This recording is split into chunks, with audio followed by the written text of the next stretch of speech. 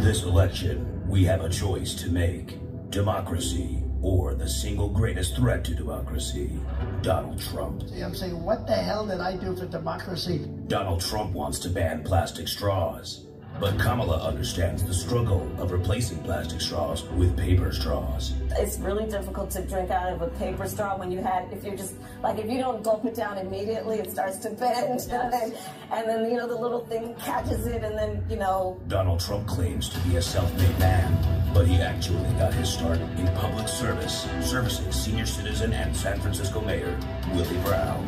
So of course, I did 25, 30 years ago. And so what?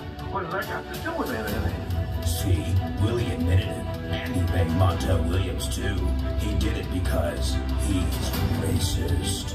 Paid for by Kamala Harris for president.